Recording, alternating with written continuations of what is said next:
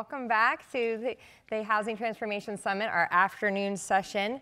If we haven't met, because I knew a few, a few more people filled this room for lunch. So I am Jennifer Cooper. I am a fractional CMO and marketing consultant for the home building industry. My company is Evolution Marketing, and I'm the track chair for the digital solutions today. All right, so this morning we talked about how do we attract buyers into our marketing experiences? Where are they finding and experiencing our brand?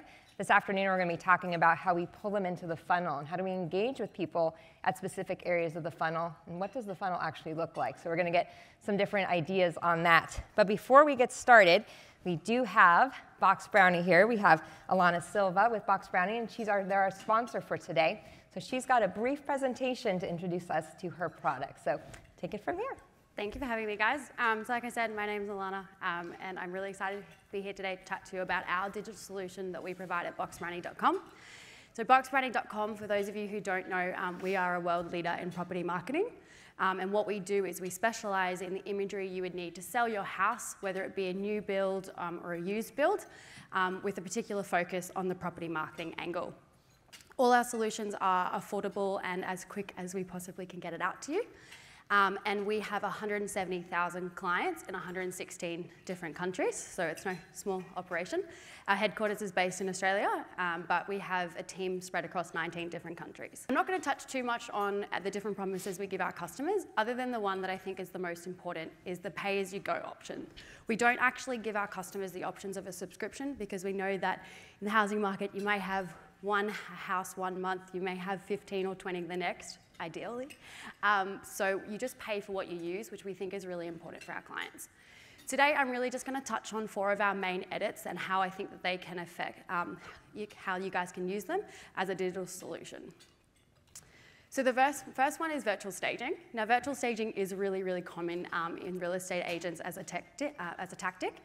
Um, but 83% of stage properties sell for the asking price or above. And that's a really, really great stat, and it really um, kind of encompasses both physical and virtual staging. Why virtual staging is so important is there's a few different reasons. One is ideally we would absolutely love for these houses to be selling within two days. That would be the best, even like without putting them on the market. But sometimes that's not indicative of the actual market. Maybe it's going to sit there for a few extra days. So virtual staging is a great solution where you pay, in our case, $24 and that you own that for the lifetime that the property sits on the market. So you're not paying day by day for physical staging. And in the cases of new homes, where it's great is that you're not running the risk of wear and tear damage from getting the furniture in and out. The option that I do want to kind of give everyone um, that we kind of touched on earlier is um, also in the situation where you've got multi-use um, rooms. So Tim Costello yesterday was amazing and gave us so many different tactics for how you can market houses differently. But multi-use um, rooms is a massive one. So in this room here, it's a beautiful space, quite like the trees. It'd be a very nice room if that was my bedroom. But it's a space that's a bit interesting and you can tell in the position of the house, maybe you don't want to use it as a bedroom. Maybe you want to use it as a pet room, as we discovered yesterday. That's quite important. Um, maybe you want to use it as a gym. Or maybe you want to use it as a home office.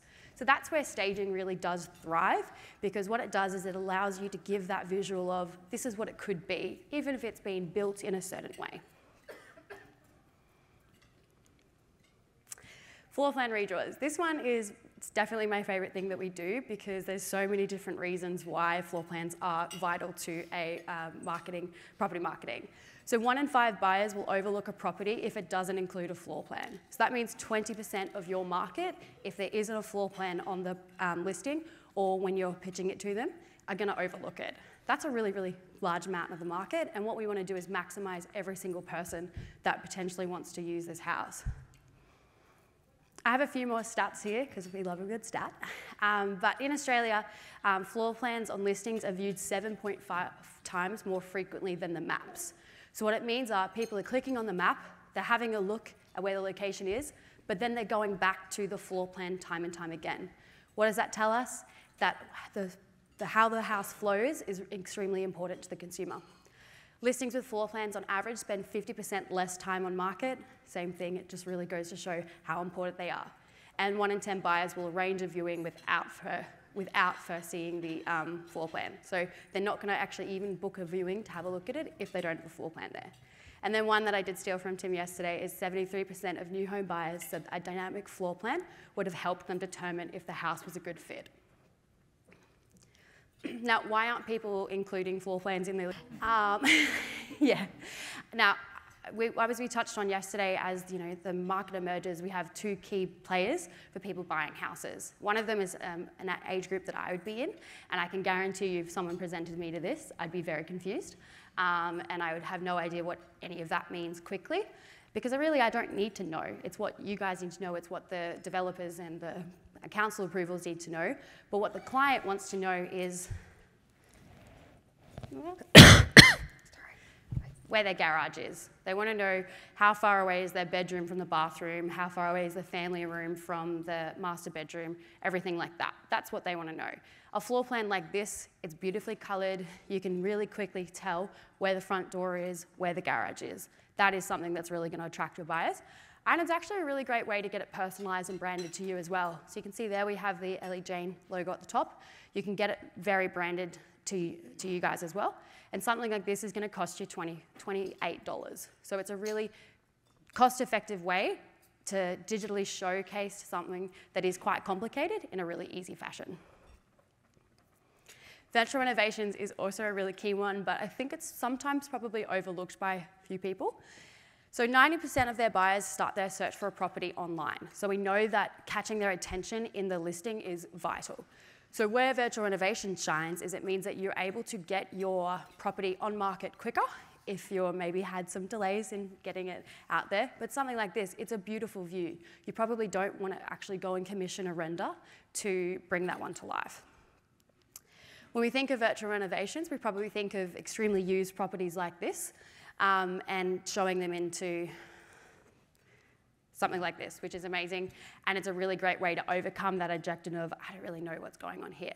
However, when we look at something like this, this is a brand new, this is a brand new house. Uh, so potentially what's happened is that there's been a change or maybe the, it's going to cost a little bit more and your client really doesn't understand why it's going to cost them more and they're not understanding the vision of the property. When we do something like this, however, oh God, um, what it does is it allows you to really bring to life the vision and potentially overcome that um, price objection without having to commission a render. Virtual renovations are going to cost, uh, this was about $135, um, and it only takes five to seven days to turn around, whereas renders are often a bit more expensive than that and can take a little bit more time. Now on to renders.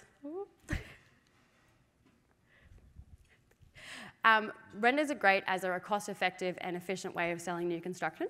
I'm sure all of us have had the time where renders were not that um, cost-effective. They were quite expensive and the quality wasn't that great. Whereas times are very different, technology available means that they are quite amazing. What renders actually allow you to do, um, and the stat yesterday from um, Tim was amazing, where it said 35% of um, new construct, they wish they started and were able to have a say at the start. So what renders are amazing at doing is, um, this is one here, people aren't going to understand it that easily, especially someone like me. However, when you look at something like this, you really get to sell the dream. And if maybe they're not obsessed with the dream, they can go in and make some changes. They've got the garage there, maybe they don't like that color, maybe they want it different. It saves everyone time and saves everyone money, and you really get to wow someone with, this could be my house. Um, we do a lot of different things for a lot of different people. So in the new construction space, we do a lot of visualizations.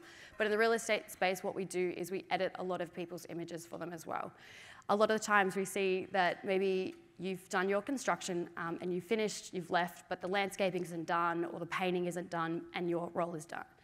What we're here to say is that there is no, you have a way of taking photos, editing them, and making them look like they've completely finished without having to come back to the property and do it as you can. So we have a suite of different photo edits, whether it's image enhancement, day to dusk, item removal, virtual staging, that allows you to have these professionally edited marketing images, whether they're for your website, whether they're for your social media, and it works in conjunction to help you get those reviews and really build that portfolio of your online presence. Um, we also have an app that just came out that kind of does all of this and more. So if anyone has any questions, um, I am here for the next few days. pop by the booth and have a chat. Um, but I'm going to hand back to these experts right here. Um, and yeah, thank you for having me. Enjoy lunch. Thank you. That was awesome. A lot of great information. Okay, so to, back to today's panel. I'm going to see if this is working. Oh, it's working. Okay, so I'd love to introduce everybody on stage here with me. So here to my left, we've got uh, Anya Chrisanthon. She is the Chief Communications Officer at Anewgo, and she is an accomplished communication strategist and leader. If you don't know her, really, I think everybody's got to know you. In her role, she oversees all aspects of corporate communications, public relations, executive visibility, and thought leadership initiatives. Anya has earned accolades such as NAHB's One to Watch and ProBuilders 40 Under 40. Additionally, she hosts a podcast, A New Go of New Home Sales, where she explores the latest trends in sales and marketing technologies tailored for the home building sector. Under her guidance, Anewgo has gained recognition as a trailblazer in interactive digital design tools and data analytics in new home sales and marketing, making a significant stride in the industry's evolution. Thanks for being here, Anya. Thank you for having me. All right, and next to her is Dr. Mike Bills. He has served as president of Atlas RTX since October 2020. Atlas RTX supports home buying customer journeys with AI-powered digital marketing, sales, and service digital assistance. Before joining Atlas, Mike was the co-founder of ConnexEd, the leader in, in virtual student services in higher education. Mike has also led a series of acquisitions of three underperforming businesses across a broad set of industries, and Mike is a graduate of Westminster University in Salt Lake City and has served on the Westminster Board of Trustees. He currently serves as chair of the Diversity, Equity, Inclusion Committee and vice chair of the Governance Committee. Well accomplished. Thank you for being here, my friend. Also, we have, get back to my right page, Miss Melissa Morman. She is an accomplished executive whose career has spanned multiple industries, from executive roles in Fortune 500 companies to foundational roles in startups, Melissa has held a broad set of executive responsibilities from general management to launching new divisions to direct global business development, leading marketing, sales, account management, whew, and launching new products. Girl, you've done it all. The one constant in her success has been her unwavering advocacy of customer experience. Melissa, Melissa, was a member of the founding executive team with BDX, and she served as the Chief Experience Officer, where she managed the entire life cycle of customer experience. Melissa's also led the launch of several BDX products, including Envision, the industry's online options program. She is a sought after speaker, consultant, and active member on several boards. Thank you for being here. And then finally, we have our friend Beth Byrd. She is the Director of Sales and Marketing for Beacon Homes. Beth oversees the sales and marketing and selection selections teams in Oklahoma City and Tulsa with 25 years of experience in a wide variety of positions in the design and construction industry in California and Oklahoma. She brings frontline experience to each team she manages, and in her 10 years with Beacon, the company has quadrupled its sales volume. Being part of such exponential growth has allowed her to implement new processes, systems, and training, working hand in hand with some of the best minds in the industry. She is our builder on the panel, so very excited to have your insights as well. Okay, so now that we've got all that fun housekeeping behind and you know who's on this panel, let's go ahead and get started. So today, again, we're talking about building the funnel and how do we um, engage people throughout the funny, funnel. We'll be discussing how today's marketing funnel is moving buyers through new experiences. And, and if conversation is king, how are they moving in and out of what appears to be a changing funnel as they're looking for on-demand and engagement points? So with that, I'll go through just a couple session highlights. Uh, so we're going to review how and why the marketing funnels are changing. You know, we kind of know this classic cone, but how is that changing? And we have all got some different point of views here. We're going to discuss where builders are spending the most time and dollars to drive new leads through conversion. We're also going to look at the new uh, self-service model, what uh, how buyers want and how they want to be responded to versus bailing during some of those uh, stopping points in the, in the conversations. We're also going to review how a marketing funnel builds trust and we're going to explore how builders can ramp up and capitalize on an e-commerce environment. Because when we say buy online, there's a lot of different meanings to that, but we're all showing up in a buy and an e-commerce experience. So how can we make that a better experience is what we're going to talk about today. And we're going to go ahead and start with you, Melissa. Okay. I'll go ahead and pass it to you. She's got some amazing slides. Really excited for this. Okay, so first we're going to go back in memory, and some of you weren't even born at this time, but some of you will remember the good old days of marketing and sales. And despite the fact that it was like martinis at lunch and cigarettes, which later gave them all cancer, it was kind of a simpler time, right? And it was kind of fun and it was kind of sexy. But in those times, we felt like we controlled the dialogue, right? Someone had to come see us in order to buy a home. There was no online, there was no digital. They had to show up and they had to go through our entire pitch, which sometimes was really laborious and awful, but they had to go through that. Kind of like used to be buying a car, right? They had to come and show up, and we felt like we controlled that story we could tell our brand, we could tell our story, and we could show our products the way that we wanted to. Um, and then we had the birth of the internet, and we thought we were super fancy uh, because we basically took all of our brochureware and we put it online. So instead of the paper brochure you had to come in and get, you could see it online. But the calls to action were still come see me, visit me, right? So it was kind of brochureware. And then we did get a little crazy with like full page lead forms, which I don't think anybody in the, ever the history of man filled out. But, and that's not dissing KB. They were very advanced. We were all doing kind of this same thing kind of in the, you know, year 2000-ish. But life shifted and what's really happened, and I love this very simple model from Google, it's called Zero Moment of Truth. So, what I just described is kind of up there on the top. We would do some marketing, a billboard, a really expensive newspaper ad, a radio ad, signage, traditional kind of marketing, and then they would show up at our retail store, right, our sales center model homes. They would, you know, hopefully buy from us, and then they would have an experience, and it was really great or bad or in between, and they would tell their circle. They would tell a few people how that experience was, and that was kind of the end of that. What's happening to us today is a completely different process right? So we still do marketing. Now we've added all kinds of other sophisticated marketing, PPC and SEO and online ads and all these other things. And we still do traditional. And we do that, but the next step is very different. Now what happens as a prospect, I actually go out and do my own research on you right? Because I'm not wedded to having to just hear what you say about you. I go do research and I read every review out there. And then what happens is I either kind of wade through that and go, okay, I still will talk to them, or it's so bad I just drop out. Now, you never see these people. You don't even know that they existed or that they checked you out, right? You didn't even get the chance to tell your story. Then, if I come see you and I buy and I go through that process, then I have an experience which is great or bad, and then I tell the world about it. The difference is it's not just my small circle. Those reviews get posted everywhere online, and thousands and thousands of people can find them and see them. That completely changes the experience guess what? We're no longer in control of our brand experience and what people think. They're doing it for us. So helpful. Um, you know, now we're kind of getting even fancier, right? We're all doing customer journey mapping, right? Like we all know what that is and we're all doing it, which is where you put yourself in the lens of your customer and look at your processes, not from our internal siloed organization, but how does the customer experience in every touch point and what's positive and great and what are potholes and all of that good stuff. So if you're doing that, that's awesome and you need to keep doing that. And if you're not doing it, you need to look that up and we, we can help you do that. Um, but we also fall into a trap here because what we think is that we go through this process and it's very linear and every customer is going to come in at the beginning and they're going to nicely, neatly go through to the end, right? Oh, this is so awesome.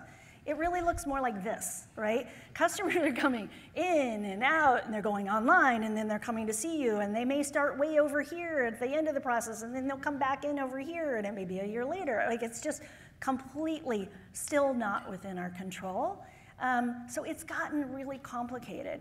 And what we refer to it as the omni-channel world, right? We have all these different advertising mechanisms that we can tap into, which is great, but confusing and overwhelming at times.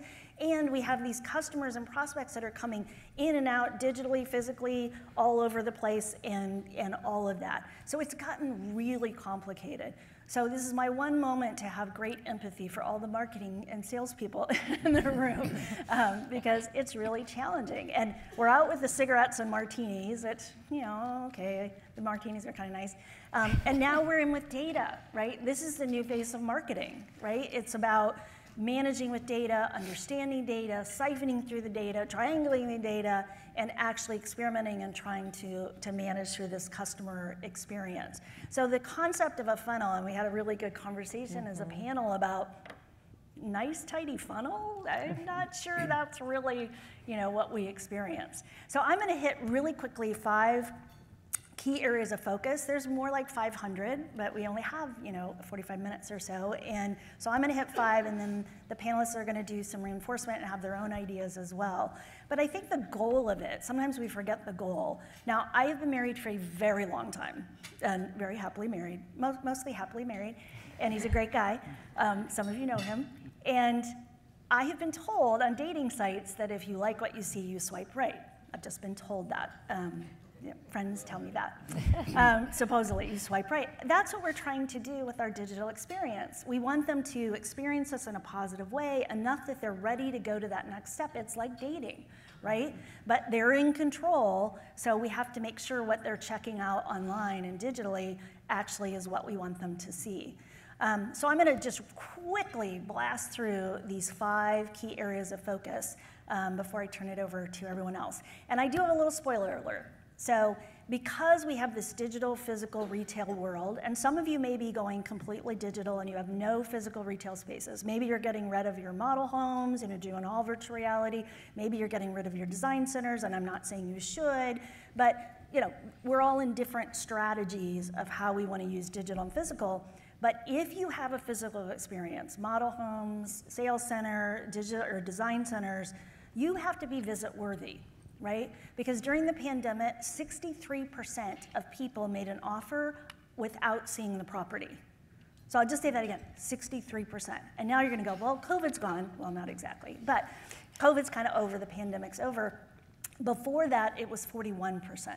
And we all know some of those pandemic behaviors have stuck with us because people realize they don't have to do it that way, right? So you have to be visit worthy. If you want them to come see you and you went to all the time, trouble, money to have model homes and sales centers and design centers, you have to give them something unique to show up. And we're going to talk about that as well. So the first one is building trust. So remember ZMOT, zero moment of truth. Online reviews are really, really, really critical. It's critical for them to ever, ever want to even talk to you. Um, but just for giggles, not now, because then you'll miss the rest of the presentation. If you go ch check out your brand um, reputation online right now, you're going to get angry and you'll call back in the office and you'll miss everything else that we have to say. So later, when you have a break, and maybe if you're doing some shots would be helpful, just Google your back. brand, you know, Tom Jones Homes, and make sure you do it incognito because Google knows who you are and they will adjust the results based on your search history and you want to look like, you know, a prospect. Um, this is a, an amazing builder. I hid their name to protect them.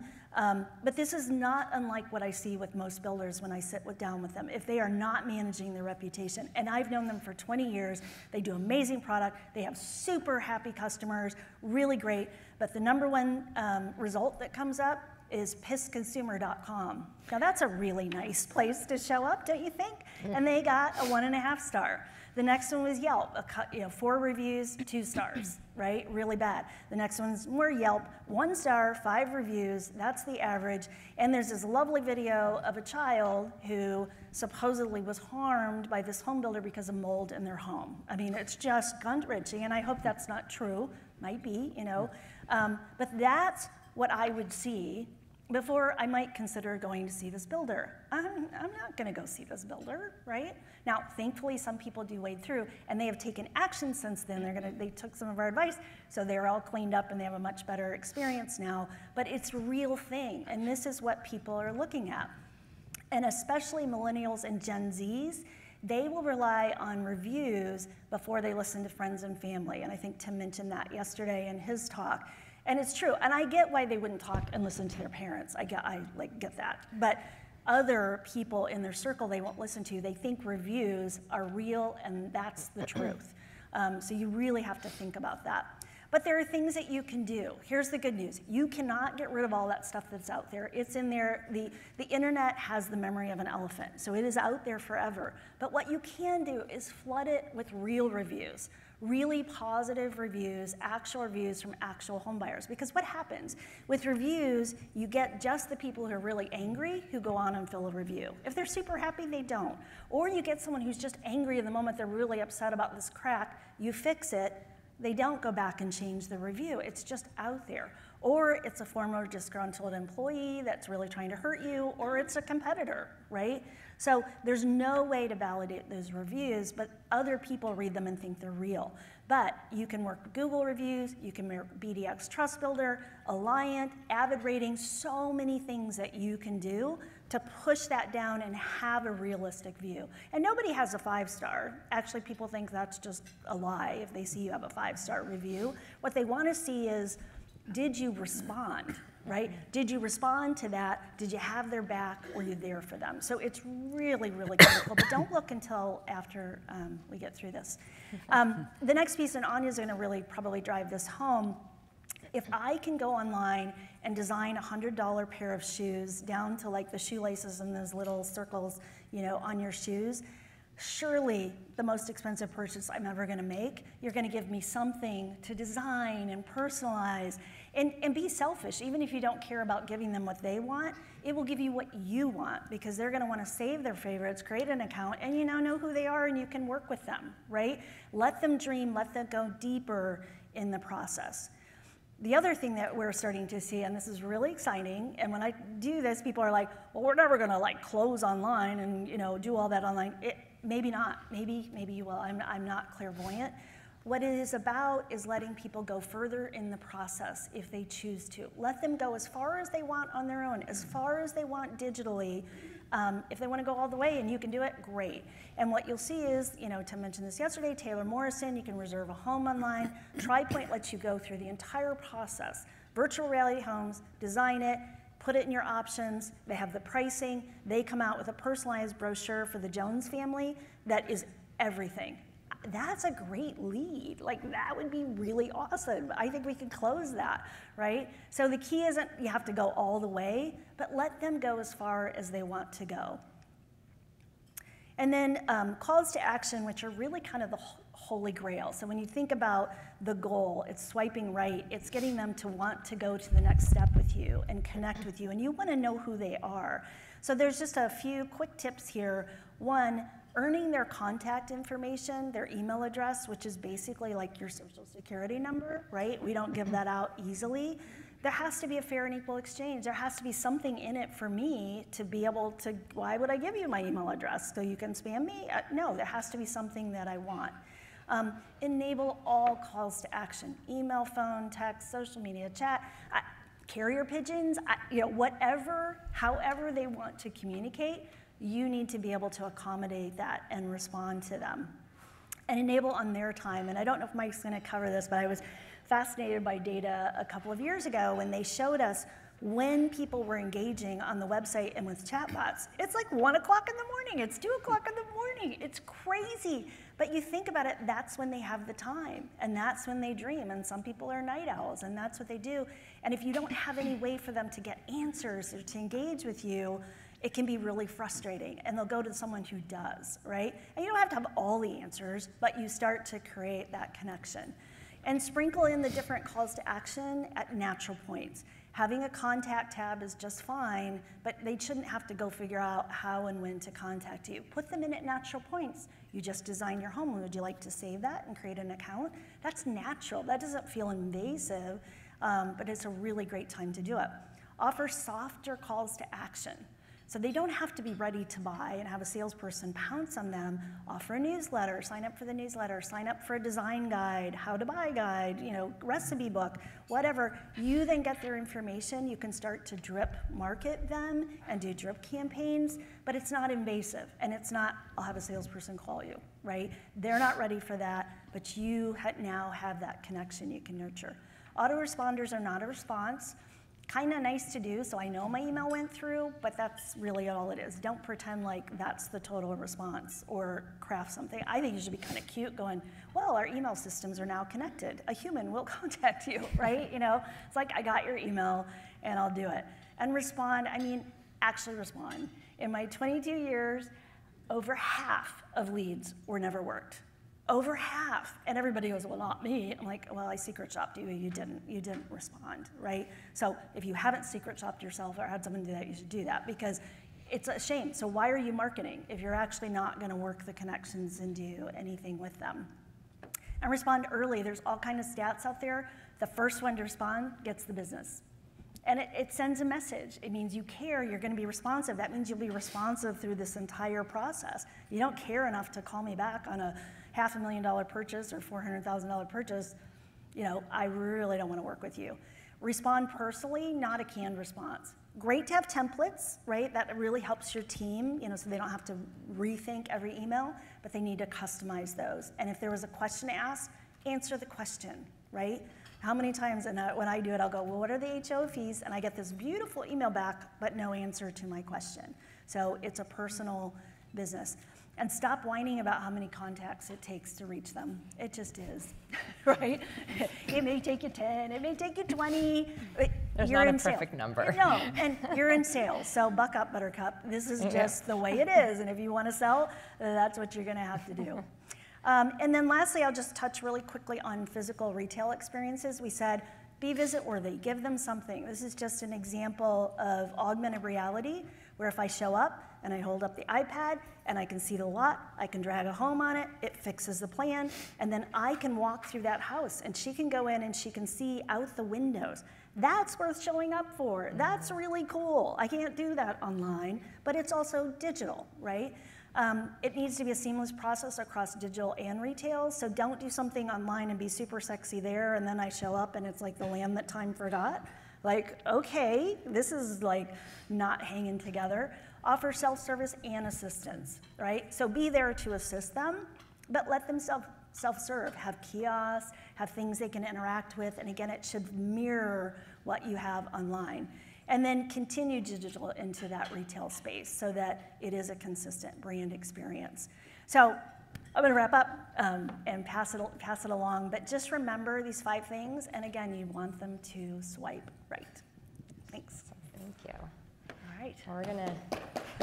It was good. That was good. I mean, definitely. Like, it was, we, I knew she had so much information. I was like, we're just gonna let you go. I tried to watch But now that. we're going to get into some other tactical. I think that was a, a great overview of kind of the, the what's to, to be thinking about. But so Mike's going to talk about Atlas and talk through their products. And I can say, as I was uh, a user of their products, this is a key component to be thinking about whether it's Atlas products or something else. When you're driving people into the funnel, what's that engagement point and how do we as a user i engaged my osc teams my sales teams and my prospects and converted way more leads when i thought about how ai and how chat functionality was going to change the business and change all of the, the tools and tie more of the tools so i think really excited to hear about your you're, you're really a big touch point in this funnel conversation Thank you. So let's, oh, all right. Well, the first slide's It's you. working, so I'm pretty, I'm, uh, I'm excited about that. Um, so, um, well, thanks for that uh, sort of endorsement. I appreciate i it. I had to but Um, sorry And this is a, Melissa, you're a tough act to follow. Nice slides. I'm, those were impressive. so, um, a little bit about us. So, um, so we, so AI certainly has received so much attention, really, for about the last 12 months. Um, it, it's probably the least precise term that is in everybody's vocabulary these days. It means something different to, uh, to many people. Um, we have been in conversational AI since uh, 2016 when Atlas was founded uh, by my dear friend Bassam Salem, um, who did all of his graduate work uh, as a computer scientist in uh, natural language processing and machine learning. So, um, so our roots in AI go really back to some of the foundations of it. Uh, and I can give a whole session on, on what's AI, what's not, but that'd be a, a different time. But anyway, we, um, so we support complex uh, purchasing journeys, right? And there's, there's no purchasing journey that's more dear, that's more expensive, uh, that's more high stakes than buying a home. And so I'm just going to point to the iconography on this, uh, along this journey from awareness to consideration, purchase, delivery, and advocacy. Um, you see that we've got some robots and we've got some people, and that might seem like it's random, but uh, that iconography is actually deliberate. Uh, and the reason being is because um, we at Atlas, we say this over and over and have from, the, from our inception, is that AI and humans are better together. It's better for the, the home builder and it's better for the home buyer. Uh, and I'll walk through some of these things, and I think they'll end up being somewhat self evident. But when we start out an awareness, that awareness is taking place on your website by and large. And when somebody visits your website, and we have the data to support this, for the most part, when they're that high in the funnel, they don't want to talk to a human being. Um, because salespeople can be pushy, obnoxious, etc. Uh, and if you just think about a, a, what would be an analog experience of going into a department store when the salesperson runs, uh, rushes up to you and says, "Can I help you?" You're like, "No, no, no, I'm just browsing," uh, and because you want to, you want self-service at that point. Once you actually identify something that you want, at that point, you want the human to help you. And that's a similar experience on your website. So you'll have, uh, and I am not here to, to um, diminish live chat in any way, but the fact is that you'll have much higher engagement rate when people know that they're talking to one of these software robots than engaging with a human. Because humans can, um, one thing is, oftentimes they're just not there they're not responsive within the 10 seconds that you have to respond to people. In fact, my favorite thing to do is when I do a demo with a prospect and they have live chat on their website, is to fire up the live chat at the beginning of the demo and have it just be there for the half an hour that I'm going to do the demo without oh. anybody ever engaging with me. Oh, that's harsh. and it happens all the time. It's why I'm, and I know that that's sort of a risky thing to do when I'm doing a demo, but it pays off uh, almost every time. And so, anyway, I'll move on here. So, one of the things, so the RTX in our name, it stands for real time experience. And we think that there's some important pillars of this real-time experience. The first of which is um, digital first. So the overwhelming majority of home builders are going to start their search on the internet, um, and they're going to buy a, a, home that they find on an online source. And so you think about the consumer experiences that you have right now. Um, and for those of you as, as old as I am, um, we used to have this notion of white glove service, which meant it was going to be like a concierge type where a human was going to help us with everything. That's really been turned on its head over the, the, last generation because the, the consumer experiences that have the, the highest ratings are experiences like Tesla, where you don't talk to a person, you do the entire purchase of that vehicle and the configuration of it. You do it yourself, you do it online, you do it on your own time. Um, I know um, I'm not cool enough to, in tech, you're supposed to have a Tesla, and I, I don't want to be a cliche. Um, so I bought my last car on Carvana. Same thing. I didn't have to talk. The only time I dealt with a person is when they dropped the, the car off at my house. Um, and so these digital first self service experiences, those are the things that we want now. And home building can be, and I've been in some, as Jennifer mentioned, I was in a Melissa and I were talking before about the home building industry being somewhat slow to adopt some of these techniques and technologies. I was in higher education before, so home building seems like it moves at lightning speed comparatively. Uh, but there still are a lot of notions that, well, the home buying experience is it's special, so we should continue with this white glove type of service. And I would contend that you're, that there, I'm certain that there are buyers that still appreciate that, but if that's all you're set up for, you're missing the rest of the market that wants experiences like what they can do with Tesla uh, and all the other things that you do that are self-serve, uh, such as like Amazon, et cetera. So, um, and Melissa brought up some of the data about uh, when people visit your websites. Uh, and this is across. So we do we have over a million conversations happening um, with our chatbots on home builder websites a month. Uh, and so we see the traffic pattern across the entire industry, and over 60% of website traffic comes after hours and on weekends. And so, if all you're going to do is ha- try to staff this with humans in this anachronistic idea that, that we have to have this purely human touch, you literally forsake two thirds of the audience that comes to your website. And, and again, I would contend that they would prefer to begin this experience with these software robots. But, but also, I mentioned that AI and humans are better together. And so we're not trying to supplant or replace humans. What we're trying to do is empower humans to do the things that they're best at by empowering these software robots to do the things that they're better at. And these software robots are awesome at, at uh, being available 24 7 answering repetitive questions in a myriad of ways that they're asked. That's the big that's the hard thing we have to do is we have to identify the intent of a user and users misspell things, they use terrible grammar, they use colloquialisms that uh, are different from region to region. And, and our software robots are really good at understanding that, speaking 100 languages. They never get upset, they never get frustrated, they always give the right answer. Um, and which is awesome because that frees up our human teams to do the things that they're really good at. And humans are great at empathizing, reading the room and understanding where somebody is. Um, they're good at explaining things. And most importantly, uh, since we're, we're in sales and marketing here, um, they're really good at persuading.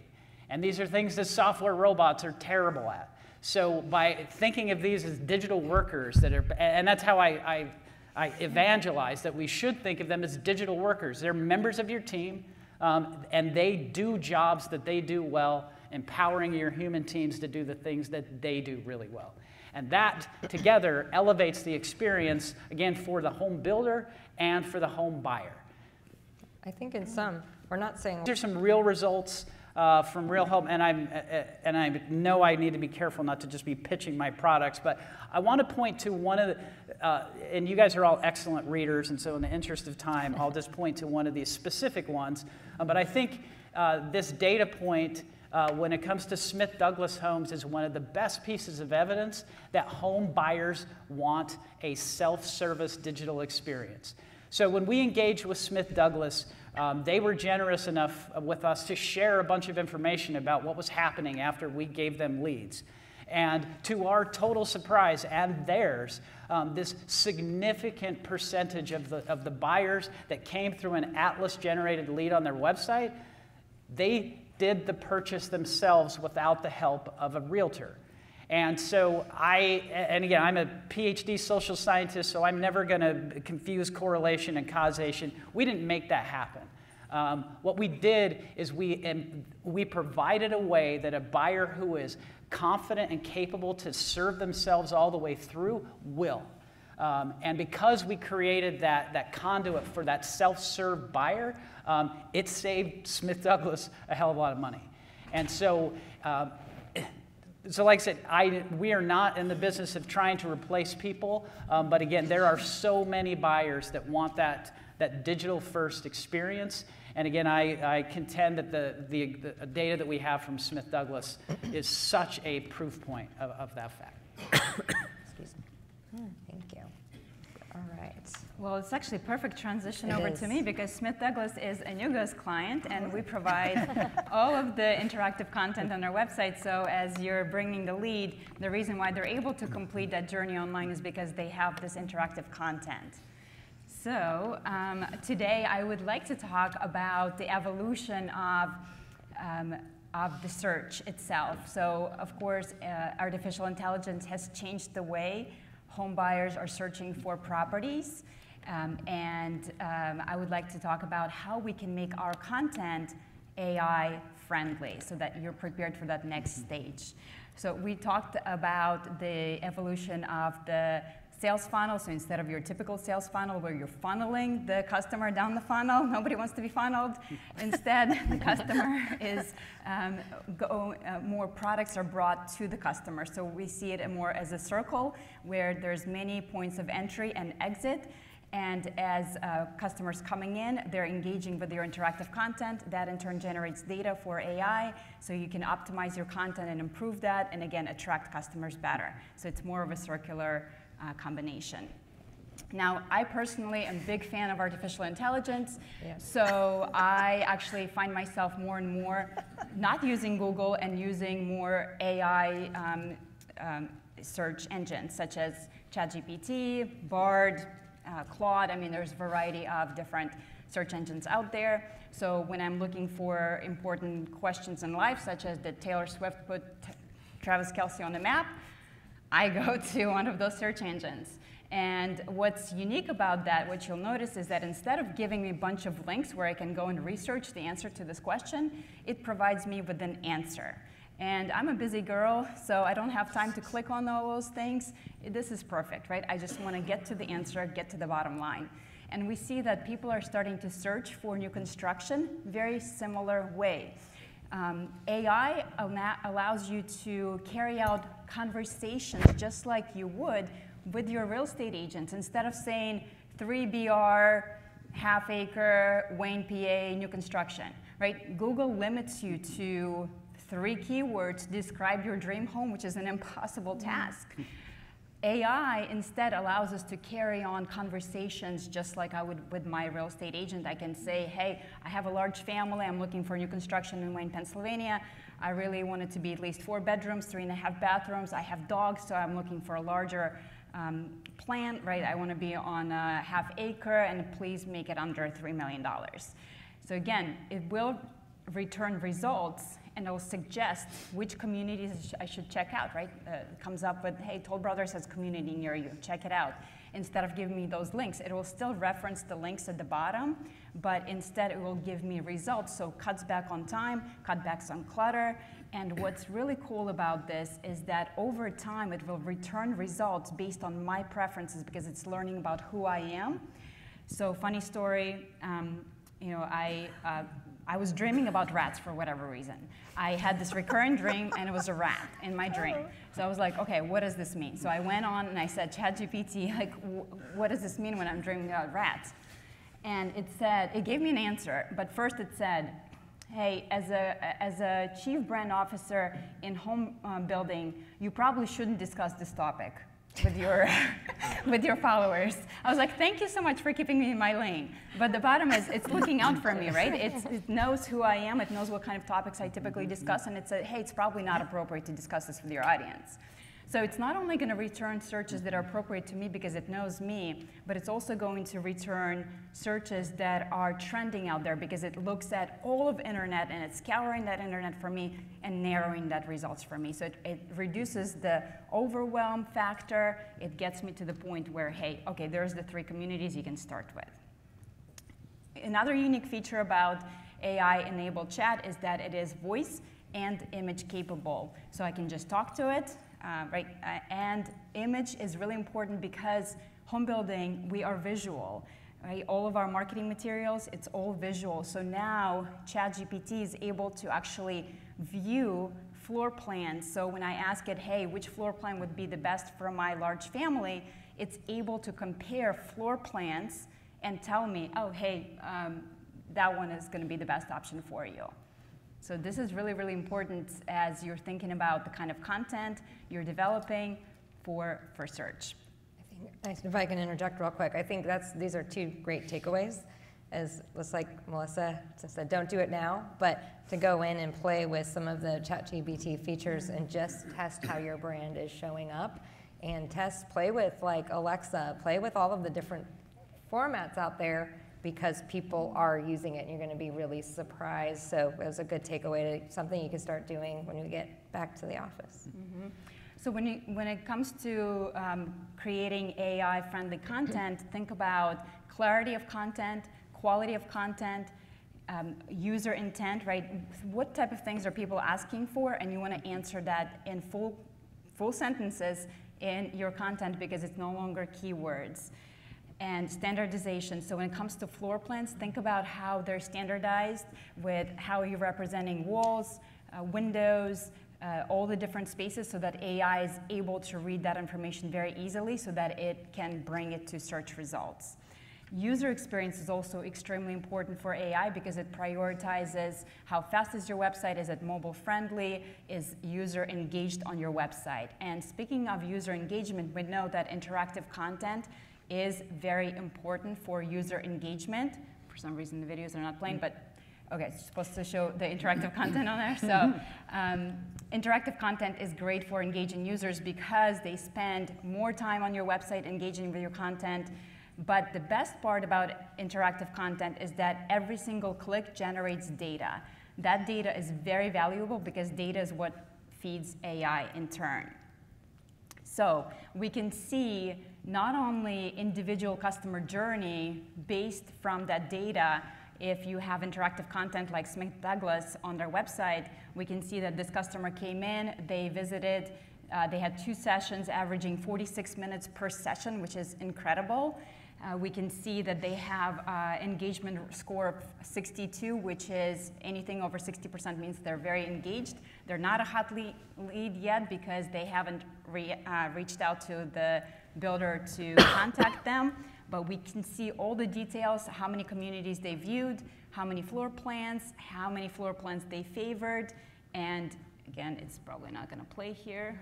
Um, Sorry. Yeah, it's all good. So we can see down to okay, which home did they design, and um, all the colors, all the options. So it's not only great for your salespeople because now when they follow up with that lead, it's not, hey, are you still interested?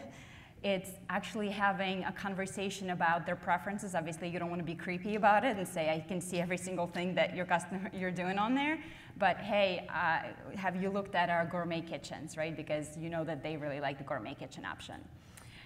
Um, you can also aggregate all of that data. So when you aggregate that data, like Tim Costello talked about yesterday, you can be on top of those trends. Hey, everybody's looking at smaller footprints. You can get ahead of that and offer smaller footprints to your customers. Just like Mike talked about visitor times, you can see I pulled that from Lombardo Homes website. The darker, that means the heavier traffic. So you can see the normal business hours are very light and it, all the activity happens at, at midnight, 10 o'clock at night on the weekends. So when you're digitizing your sales process, both Melissa and Mike talked about buy now and transacting online. One of the biggest benefits of keeping customer as long as possible on your website and instead of taking them offline is because all of that data is recorded through transaction. You're not just limiting it to the marketing stage, you are getting full picture of what are they doing, what do they look at, and where did they end up. Because when you have that data, then you can utilize things like personalization marketing. So when somebody comes into your website, if they're coming in from California, you're going to show them certain pictures versus if they're downsizer or first-time buyer, how, what kind of messaging, what kind of images you're going to show them can be personalized based on that data predictive marketing like Amazon, hey, if you looked at this floor, plan, chances are you're really going to like this. It's going to help you with product development and uh, supply chain optimization, just like airline seats. Chances are you didn't pay the same price as person sitting next to you. So if somebody's looking at home site 13 and everybody's looking at that home site, raise the price automatically. If nobody's looking at home site 8, hey, maybe that's the sale. So in conclusion, um, as you're thinking about making your content AI friendly, concentrate on interactive content. Interactive content is gold because it generates all that data, and AI needs data. Think about offering personalized experiences that are dynamically changing based on that customer's preferences, their again location, their interest, etc. And as much as possible, you want to create an omni-channel experience and break down any data silos. So whether it's marketing department, sales department, customer service, you want to unify that data as much as possible so that AI can really see the entire customer journey and they can optimize that in more of a holistic way. So with that, I'm going to hand it over to Beth to bring us home. Thank you, Anya. So, whoops, as we talked about this, we had great conversation about the funnel, and we said, is there still a funnel? And I think in some ways we can argue that there is still a funnel out there, but really, we talked about the circular pattern, and I thought about the roundabout. Now, depending on where you live in the country, show of hands, who has to drive through a roundabout very often? Okay, good. It's kind of crazy. Some of them are crazy, right? Others are pretty easy to get through. Well, I think some of our buyers' journeys are like a roundabout. And the orange car mm-hmm. here, I think about my brother. And yes, the cars are going the wrong way. They're on the left side of the road because there's a lot more roundabouts in Europe, and the good pictures I could find were all from Europe. So, anyway, the orange car reminds me of my brother. His new hobby is looking on Zillow for homes. they, he has this extensive list of saved homes that fit his criteria. Now, he's not planning to move for three to five years, but it's so fun to think and plan and dream for the future. So, this orange car is just kind of touching the edge of the marketing for this builder and moving on out. And hopefully, he'll come back around, right? The blue car, they know where they want to go. These are your quick buyers. They're moving through really fast. And then there's the green car. The green car is going to take a little bit more time to go through your process. And so the question is as a home builder, how do you decide with all of these amazing mm-hmm. products and tools out there? How do you decide which one? I know when I enter the sales funnel or the roundabout for all these products, sometimes I feel like it's like this. like there are too many options, I don't know which way to go. And I, I think our buyers sometimes feel like this too, right? So the, the key for us is that customer journey mm. mapping that Melissa talked about. How do we put ourselves in our buyer's shoes and understand what's most important to them. And I'll tell you, less is more. So as we, we build about 100 homes a year, so we don't have a huge budget, and we implemented most of this technology when we were around 40 homes a year. And the way that we've done that is we really figured out how do we do more with less. So for example, um, we, we, as we mapped out our customer journey, we determined that customers were most interested in visualization options in the shopping phase.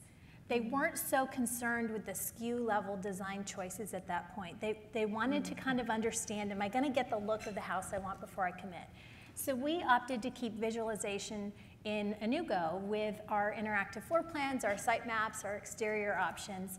And, and we said, okay, well, what else can we do with Anewgo? We determined, I, I use it for my pre-construction planning, my starts. I go in there and I look at what other houses are there, what's on what lot, what would make sense to a buyer on this street. I've used it for presentations to developers who are looking to add commercial and multifamily to help them see what's the vision for the community that we're creating here so that it will be consistent and cohesive. So I've tried to find ways to do more with less. Um, we, we had a, an online design center for a couple of years. So instead of spending the money for a brick and mortar location, we have a local vendor that we can go and put some stuff in a cabinet and bring it out and meet with the customer there. But we invested in the online design center, and we are in the process of switching from the one we used for a couple of years to ECI's InSearch because we figured out our office was already on MarkSystems in the background, and we were creating double work and uh, a lot of friction in the back end of our process by having those things separated. And so we're, we're integrating those two and we're saying, okay, how do we, we've already invested in MarkSystems as our ERP, how do we do more with that? We do that by bringing our online design center in. Um, and then it, for us, it tied into Lasso as well. Are we keeping our buyers in the funnel? Well, that's an ECI ecosystem, and no, I don't work for them. They're not paying me to say this. I just, I just been their customer because we found less is more, having fewer ecosystems to work in mm. simplified things for us as a builder sure. that had a limited mm. budget and limited time. So I would just say, think about your customer journey, think about your team, and, and it's important to talk to the other members of your team. We, we talked to our pre-construction department when we were trying to decide what to do about our design center and figured out how does this impact their lives, not just the sales and marketing. It's easy for sales and marketing to kind of bulldoze through the company. And it's really important to be considering what everyone else uh, is dealing with. So I'm the mom to five boys from 11 to 20, stepmom to a couple of them. And this is their life a lot of the time.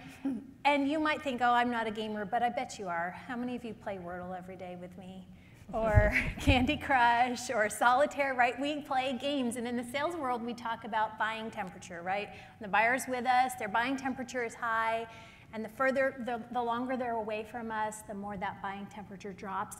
Well, I would argue that having these tools for them to go home and play video games with your floor plans, with your exteriors, with your sites, that's keeping that buying temperature high so that they're engaged with your company, and instead of spending the time looking for other homes on Zillow, they're dreaming about what their future looks like in your home. So I hope that's helpful little sneak peek into how we have approached so many different options in technology. Awesome, awesome. love it. Nice. Well, thank you everybody. We are at time, but I would just love to lead with one, one idea, hearing about AI, hearing about all of these different things that we need to watch create an AI task force uh, in your companies. Watch it, test it, because you know it's going to change literally, Anya, like week to week. Um, you need a task force doing this. Could be marketing, it could be different people from different departments, but definitely it's nothing that's going away. It's going to be here to help us if we utilize it the right way. Thank you so much, everybody, for joining us, and you'll now go outside and meet with your.